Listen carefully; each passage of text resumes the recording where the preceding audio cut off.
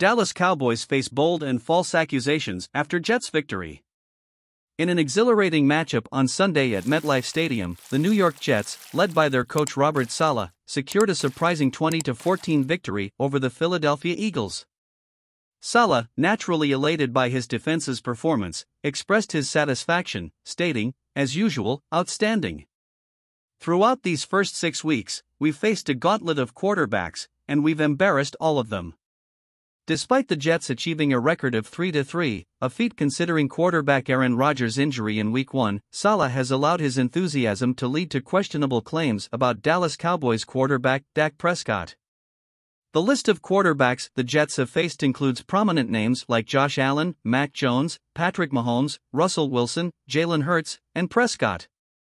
While Mahomes is recognized as one of the best, and Allen and Hurts boast impressive credentials, Saleh hinted that his defense embarrassed all these quarterbacks, including Prescott.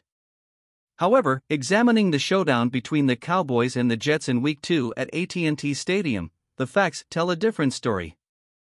Dallas secured a 30-10 victory, with Prescott completing 31 of 38 passes for 255 yards, 2 touchdowns, no interceptions, and only one sack, achieving an impressive passer rating of 112.2. Embarrassed? It doesn't seem like anyone in silver and blue walked away embarrassed from that game.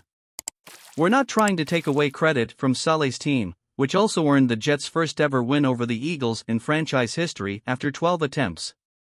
Undoubtedly, Cowboys Nation enjoyed watching Saleh walk away from the podium at the end of the post-game press conference, saying, they ain't 12 to 0 no more. It's a fact and it's useful for the Cowboys. But did the Jets embarrass the Cowboys in any way? That is not a reality. What are your thoughts on these bold claims? Share your opinions in the comments and be part of this thrilling conversation.